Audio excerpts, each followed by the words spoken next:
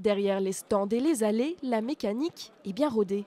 À la déchetterie éphémère de la foire de Tours, près d'une dizaine de flux servent à trier les déchets. Carton, métal, verre ou encore les huiles sont séparés pour être revalorisés plus efficacement. Un engagement écologique, mais aussi un devoir légal pour tout événement. On est une entreprise euh, qui est normée en, norme ISO 2121. Euh, euh, on est audité régulièrement pour contrôler un peu notre travail, notamment sur la partie tri. Et ça, c'est vraiment un enjeu capital d'avoir cette norme, mais pas que. C'est vraiment aussi ce, soutien par rapport à l'écologie où on veut vraiment alléger comment dire, tout ce qui est gestion de déchets au quotidien. Sur les 90 tonnes de déchets produits lors de l'édition 2023, moins d'un tiers a dû partir à l'enfouissement.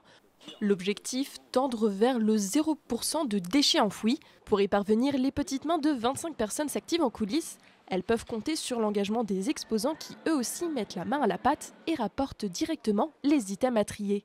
On a des bacs spéciaux et euh, il y a des petites voiturettes qui viennent nous les chercher. Donc on est plutôt content dès 9h du matin à avoir la petite voiturette qui vient chercher les verres.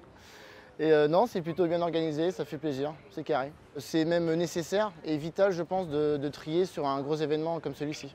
Dernier chantier et pas des moindres pour parfaire le taux de réussite de tri, celui de la sensibilisation du public. Chez soi ou à la foire, il faut encore adopter les bons réflexes.